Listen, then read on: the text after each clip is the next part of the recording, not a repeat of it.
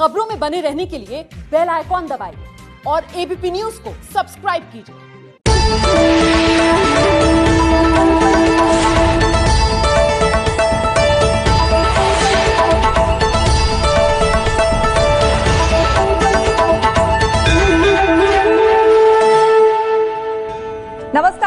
स्वागत है आपका। मैं हूँ आपके साथ आस्था कौशिक। आज का दिन बेहद शुभ और बहुत अच्छा है, क्योंकि आज है कोजगर पूजा।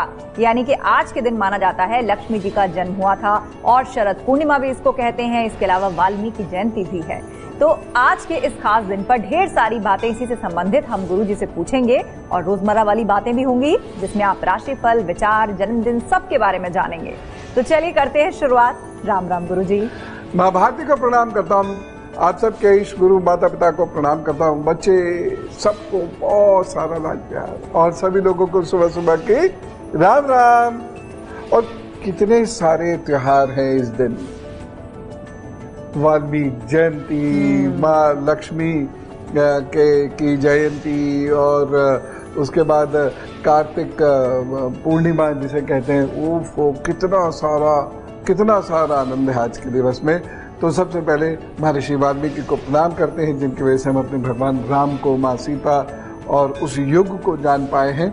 और साथ ही साथ आज हम बहुत महत्वपूर्ण बात करेंगे कोजागर पूजा की माँ लक्ष्मी की पूजा की और इस दिन की गई पूजा का बहुत ही सुपरिणाम मिलते मैंने देखा है।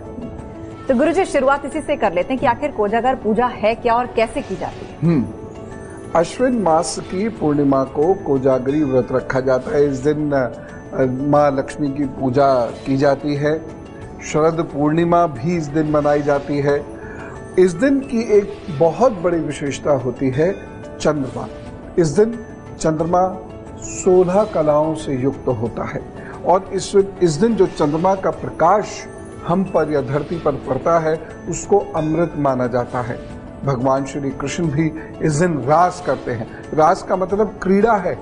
इसको कुछ अन्य रूप में ना देखा कीजिए। ये क्रीड़ा करते हैं। वहाँ के सब गो गोपियाँ इकट्ठे होकर क्रीड़ा करते हैं। आप लोग भी जो पूजा मैं बताऊँगा, वो कीजिएगा। और जो मैं अभी कह रहा हूँ, इसका अर्थ तब आपको समझ में आएगा। माँ लक्ष्मी की पूजा किस समय करनी है, कैसे करनी है, ये ज़रूर समझ लीजिएगा। वैसे भी जो वर्ल्ड बैंक आईएमएफ आरबीआई वगैरह की रिपोर्ट्स आ रही हैं तो ऐसे में तो माँ लक्ष्मी की आराधना जितनी ज़्यादा हो जाए अच्छा ही है।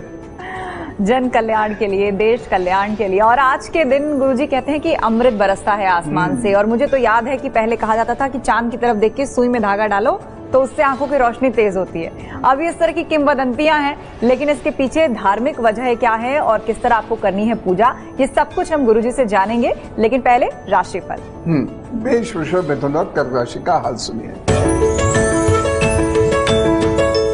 मेष राशि, शाम तक आपका समय बहुत अच्छा है, कुछ बढ़िया काम करने की कोशिश कीजिएगा। बस एक सावधानी आपको ज़रूर बरतनी है इस दिन, आप धन के लेन देन में बहुत सावधान रहें। उपाय क्या करना है? दूध या दूध से बनी चीज़ों का दान दे और इस दिन क्रोध मत कीजिएगा।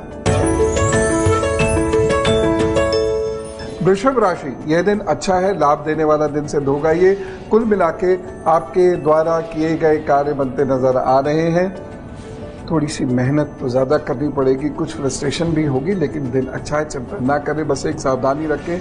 इस दिन जो बोले, बहुत सोच समझ कर बोले और उपाय के तौर पर इस दिन दूध या दूध से बनी हुई चीज़ों का दान ज़रूर कर दें। मिथुन राशि मित्र मंडली से बहुत अच्छा व्यवहार कीजिएगा और माँ के स्वास्थ्य का ख्याल रखिएगा। बाकी तो ये दिन आपके लिए अच्छा है। बस एक छोटी सी सावधानी, वाहन चलाएँ तो बहुत सावधानी से चलाएँ। उपाय क्या करना है? इस दिन को बेहतर बनाने के लिए आलू का दान ज़रूर कर दीजिएगा। कर्क राशि, समय आपके लिए अनुकूल है। यद्यपि कुछ तनाव तो रहेगा, भविष्य की चिंता आपको सताएगी लेकिन फिर भी समय अनुकूल रहेगा। लेकिन एक छोटी सी सावधानी स्वास्थ्य को लेकर ज़रूर रखेगा उपाय क्या करेंगे? दिन को बेहतर करने के लिए ओम नमः शिवाय का जप करें शिवलिंग का अभिषेक करें फिर अपने काम पर जुट जाएँ। तो जान लीजिए दिन को अच्छा बनाने के उपाय और सावधानियाँ भी अपनी राशियों के हिसाब से नोट करते चलिए। और अब है परवरिश टिप की बारी। गुरु जी वो क्या है? हम्म दूध से संबंधित एक खास बात आपसे करना चाहता हूँ। बार बार दूध को गर्म नहीं करना चाहिए और बार बार गर्म किया गया दूध बच्चों को नहीं पिलाना चाहिए। तो एक बार जब दूध आता है घर में, उसको अच्छे से छान लीजिए और उसको थोड़ा सा गर्म कर लीजिए और रख दीजिए और उसके बाद तभी गर्म कीजिए जब उसको पीने की ज़रूरत हो या जब उसको पीना हो। ठीक है ना? बार बार गर्म करने पर दूध का प्रभाव नष्ट हो जाता है। तो ये बहुत महत्वपूर्ण बात थी मुझे तो नहीं पता थी। अब देखिए आपको आज पता चल गई है तो आगे से ज़रूर ध्यान रखिएगा। और अब उन लोगों की बात जिनका है आज जन्मदिन गुरुजी उनका साल कैसा होगा? जिनका भी आज जन्मदिन है उन्हें जन्मदिन की हम लोग की ओर से ढेर सारी शुभकामनाएँ। दीर्घायुरारोग्यमस्तु सुयशः भवतु विजयः भवतु। जन्मदिन शुभेच्छा। आपके आगे आने वाले 12 महीने बहुत अच्छे हैं, लेकिन खट्टे मीठे हैं। अभी तो मीठा समय चलेगा, इसलिए कोई चिंता की बात नहीं। 20 फरवरी तक मीठा समय चलेगा। आपके द्वारा किए गए कार्य स्थापित होंगे, आगे बढ़ेंगे, आप अच्छे परिवर्तन भी कर सकते हैं। लेकिन 20 फरवरी से लेकर सितंबर तक थोड़ा सा कमज़ोर समय चलेगा। आप भ्रम की अवस्था में रहेंगे, कुछ गलत निर्णय भी आप ले सकते हैं। रिश्ते नातों को लेकर बहुत सावधानी बरतनी होगी। एक खास बात जो आपको ध्यान रखनी है, खास तौर से वो लोग जो अपने व्यापार में परिवर्तन करना चाहते हैं या नौकरी में परिवर्तन करना चाहते हैं, बिल्कुल करें, बिंदास होकर करें, लाभ भी मिलेगा। लेकिन ये लाभ आपको एक से डेढ़ वर्ष बाद मिलेगा। इसलिए मन पक्का करके परिवर्तन कीजिएगा, नहीं तो परेशानी महसूस करने लगेंगे आप। उपाय क्या करना है? हर शनिवार को लोहे के बर्तन में तेल डालें, सरसों का, उसमें अपना चेहरा देखें और उसको किसी दूसरे लोहे के बर्तन में रख दीजिएगा। जो बर्तन भर जाए उसका दान कर दीजिएगा।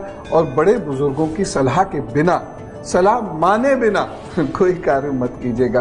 फिर अपने आप सब ठीक होगा। ऑल द बेस्ट तो खट्टे मीठे अनुभवों वाला है साल लेकिन उपाय नहीं भूलना है जो गुरुजी ने आपको बताया है। गुरुजी आज हम कोजगार पूजा की बात कर रहे हैं। आखिर कैसे की जाती है ये पूजा और किन बातों का रखें ध्यान? हम्म, ये बहुत सरल है बहुत सरल है। शरद पूर्णिमा को कोजागार पूर्णिमा भी कहते हैं और इस रात को क्या करना चाहिए? खीर बनानी चाहिए।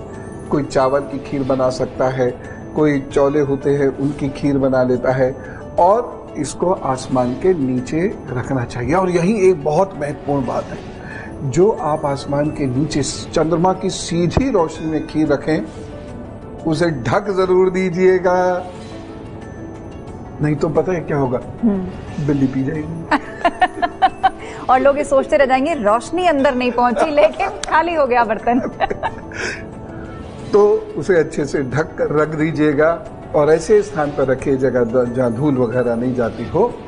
और जब पूर्णिमा तिथि पूर्ण हो जाए जो मैं आपको बताने वाला हूँ जब पूर्णिमा तिथि पूर्ण हो जाए तो फिर आप उसको पहले तो बांटिएगा और फिर स्वयं ग्रहण कीजिएगा। अब आप इतनी सी बनाए इतनी बनाए ये आपके ऊपर डिपेंड करता है। माँ लक्ष्मी का यंत्र वो इस दिन कागज़ पर काढ़ लीजिएगा और उसको आ, सामने रखकर माँ लक्ष्मी की प्रतिमा के सामने रख दे या छत पर ऐसी बैठे या अपने पूजा स्थान पर बैठे वहाँ और और कुछ नहीं तो ओम लक्ष्मी नमः का जप करते रहे। कब तक? पूर्णिमा तिथि समाप्त होने तक। अब पूर्णिमा तिथि कब समाप्त हो रही है? चौदह अक्टूबर को सुबह दो बज के अड़तीस मिनट या तेरह की रात को दो बज के अड़तीस मिनट पर पूर्णिमा तिथि पूर्ण हो रही है। तो इस समय आप यह है, इस समय तक आप माँ लक्ष्मी की पूजा करेंगे। इसके अलावा और क्या किया जा सकता है? माँ लक्ष्मी के 108 नामों का जप किया जा सकता है। श्री सूक्तम का पाठ किया जा सकता है। ठीक?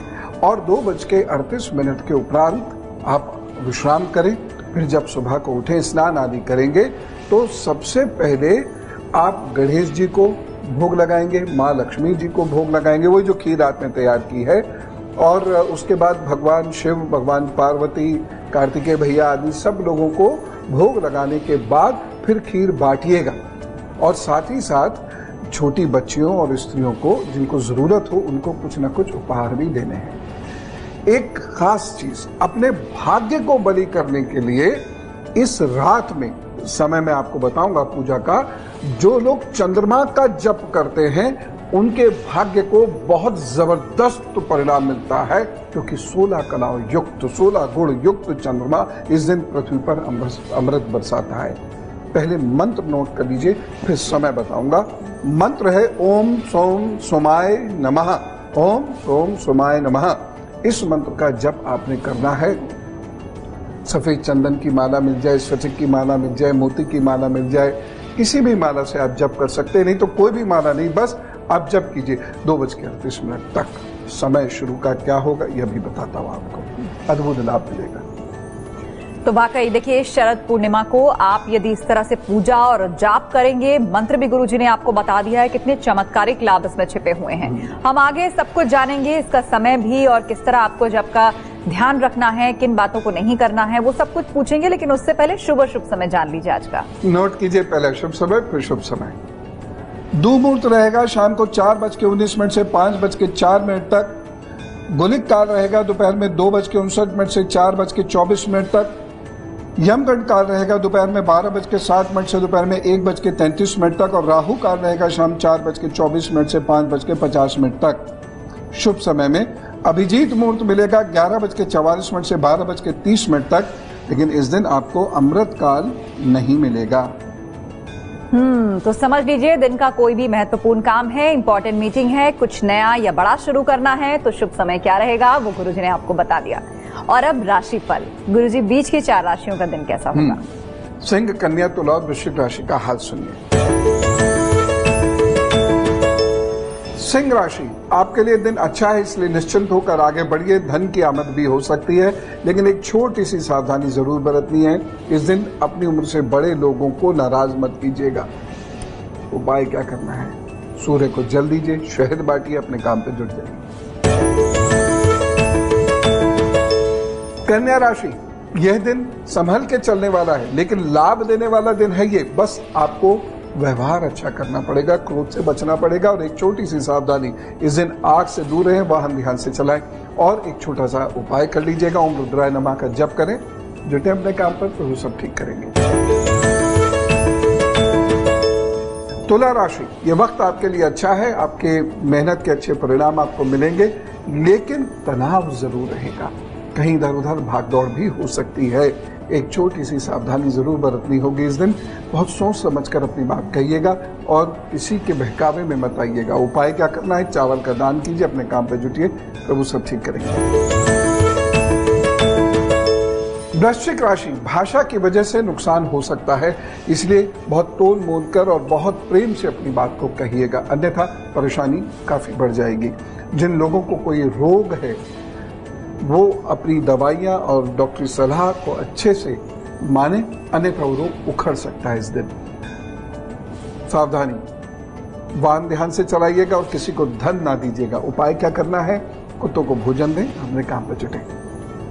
तो दिन को अच्छा बनाने के लिए उपाय और सावधानियाँ आप नोट करते जाएँ और ज़रूर करें, क्योंकि दिन को अगर सुंदर बनाना है तो थोड़ी मेहनत भी ज़रूरी है। और अब पूजा का वो मुहूर्त, जिसके बाद आपको खुशियाँ खुशियाँ मिलने वाली हैं। गुरुजी कोजागार पूजा के लिए सही समय क्या होगा? नोट कर लीजिए। रात को ग्यारह बज के तैतालीस मिनट से लेकर बारह बज के बत्तीस मिनट तक ये पूजा करनी है। जो लोग चंद्रमा की या माँ लक्ष्मी की साधना कर रहे हैं या यंत्र का जप कर रहे हैं, वो ग्यारह बज के मिनट से लेकर दो बज के अड़तीस मिनट तक अपने जप करें। तो न्यूनतम आपको ग्यारह बज के मिनट से बारह बज के बत्तीस मिनट तक तो यह पूजा करनी ही है। और उसके बाद अच्छा रहेगा पूर्णमासी तिथि पूर्ण होने तक, यानी दो बज के अड़तीस मिनट तक आप लगातार जप अथवा सूक्तम का पाठ या चंद्रमा का जप करते रहिएगा। एक अजीब सी बात आजकल मैंने देखी है फैल रही है। निशिता काल जो होता है या निशीत काल जिसको बोलते हैं बड़े पवित्र समयों में से एक माना जाता है। लेकिन अब सोशल मीडिया पे इसे फैला दिया प्रेत काल है ये। जी मैंने भी सुना है गुरुजी हाँ। मतलब लोग बाग ब्रह्म मुहूर्त को लेके इतना ज़्यादा पदसिव रहते हैं कि हाँ। इस समय को मान लेते हैं कि तो सबसे अशुभ वक्त है। हाँ जबकि ऐसा नहीं है। जितनी भी प्रमुख साधनाएँ होती हैं चाहे वो शिव जी की साधना हो माँ लक्ष्मी की साधना हो चंद्रमा की साधना हो वो निश्चित काल में ही होती है। माँ दुर्गा की जो साधना है या नवरात्र का जागरण है वो तो इसी समय में होता है। तो अगर हम प्रेतों की पूजा करते हैं तो फिर भगवान की ईश्वर की पूजा कैसे करते हैं? ध्यान साधनाएँ क्यों होती? इसलिए किसी वहम में मत पड़िए। निश्चित काल की पूजा को ही सर्वश्रेष्ठ पूजा माना जाता है। इसी समय में जो ध्यान आदि आप करते हैं उससे सिद्धियाँ प्राप्त होती हैं। तो बिल्कुल किस तरह करनी है पूजा और किस मुहूर्त में करनी है ये आपने जान लिया है। तो अब इस शरद पूर्णिमा आप महालक्ष्मी की जो पूजा करें वो पूरे विधि विधान से करें। हम्म, और तेरह तारीख की रात में मुहूर्त प्रारंभ होगा और चौदह तारीख की सुबह दो बज के अड़तीस मिनट तक ये मुहूर्त रहेगा। मैं रिपीट कर रहा हूँ। अच्छा खासा समय है आपके पास। और अब अंतिम चार राशियों की बात। गुरुजी उनका दिन कैसा होगा? यानी धनु मकर कुंभ और मीन राशि का हाल। धनु राशि आपकी गलती से आपका कुछ नुकसान होता हुआ दिखाई दे रहा है। अपने स्वास्थ्य का भी आपको विशेष ख्याल रखना होगा। एक छोटी सी सावधानी ज़रूर बरतें। इस दिन किसी की सलाह ज़रूर मान लीजिएगा। खास तौर से जिस पर आप विश्वास करते हो, उसकी सलाह मान लीजिएगा। समय से पंगा मत लीजिएगा। उपाय क्या करना है? हल्दी और आलू का दान कीजिए। प्रभु जी सब ठीक करेंगे। मकर राशि। ये वक्त आपके लिए धन प्रसिद्धि, प्रतिष्ठा आदि दिलाने वाला है। इसलिए मेहनत से अपने काम पर जुटे रहिए तो वो आपको सब ठीक रखेंगे। बस एक छोटी सी सावधानी ज़रूर बरतिएगा कि इस दिन वाद विवाद में नहीं उलझना है। उपाय क्या करना है? इस दिन आप, दूध या दूध से बनी हुई चीज़ का दान कीजिएगा। प्रभु जी सब ठीक करेंगे। कुंभ राशि। भाग्य पक्ष थोड़ा कमज़ोर तो है, लेकिन यदि आप मेहनत ज़्यादा करते हैं और समय से कुशलता पूर्वक अपना काम करते हैं तो आपको लाभ मिलता नज़र आ रहा है। विद्यार्थियों के लिए ये दिन बहुत अच्छा है। इस दिन की गई पढ़ाई, बनाए गए नोट से आपको बहुत फ़ायदा होगा आगे जाके। इसलिए जो कॉम्पिटेटिव एग्ज़ाम्स की तैयारी कर रहे हैं, खासतौर से वो खूब जम के पढ़ाई करें। एक छोटा, छोटी सी सावधानी ज़रूर बरत लीजिएगा इस दिन। इस दिन आप तेज़ी से दौड़ भाग करते या सीढ़ियाँ चढ़ते, उतरते या बिजली पे काम करते, थोड़ा अलर्ट ज़्यादा रहे। उपाय क्या करना है? ओम रुद्राय नमः का जप कीजिएगा और तिल से बनी हुई मिठाई यदि आपको मिल जाए तो उसका दान कर दीजिएगा किसी को। प्रभु जी सब ठीक करेंगे। मीन राशि, थोड़ा इन्फेक्शन का डर लग रहा है तो जिन लोगों को इन्फेक्शन रहता है, वो इस दिन अपनी स्वास्थ्य का बहुत ज़्यादा ख्याल रखें, ठंडी चीज़ें खाने से परहेज रखिएगा। लेकिन आपको कोई शुभ समाचार अच्छा समाचार अचानक मिल सकता है या अचानक आप किसी अपने के घर जा सकते हैं या कोई अपना आपके घर आ सकता है। एक लेकिन सावधानी इस दिन ज़रूर बरतनी है। इस दिन ठंडी चीज़ों का या बहुत खट्टी चीज़ों का परहेज करना होगा। और ऐसे लोग जिन्हें इन्फेक्शन पकड़ा हुआ है, उनसे थोड़ा सा डिस्टेंस बना के रखिएगा। उपाय क्या करेंगे? इस दिन गुनगुना पानी पीजिए और तुलसा पत्ती को अच्छे से धोकर जिहा के नीचे रख के सूखने के बाद चूसिए उसको उसके बाद धूप दीजिएगा। तो मुझे सब ठीक करेंगे। चलिए दिन तो अच्छा हो गया और वैसे भी आज इतना शुभ दिन है तो कर डालिए पूजा और आने वाले समय को और भी अच्छा बना लीजिए। पर हाँ वो विचार भी सुनिए जो उस दिन को और सुंदर बना देने वाला है। गुरु जी आज का विचार। जी सुनिए। जो धन शुभ कार्यों से नहीं आता वो कभी नहीं टिकता। और बहुत कष्ट भी देता है। इसलिए सदा लिखा जाता है शुभ लाभ। वाकई और आज धन की देवी लक्ष्मी का दिन है तो आज का विचार भी धन से संबंधित है और कितनी गहरी बात है। अपने जीवन में इस बात का ध्यान आप ज़रूर रखें। बहुत बहुत धन्यवाद गुरु जी आपका दिन शुभ हो समय से पूजा ज़रूर कर लीजिएगा। मैया कृपा से आपको लाभ मिलेगा। राम राम नमस्कार भारत माता की जय। आज के इस एपिसोड में इतना ही। कल फिर होगी आपसे मुलाकात। तब तक के लिए हमें दीजिए इजाज़त और आप देखते रहिए एबीपी न्यूज़ नमस्कार।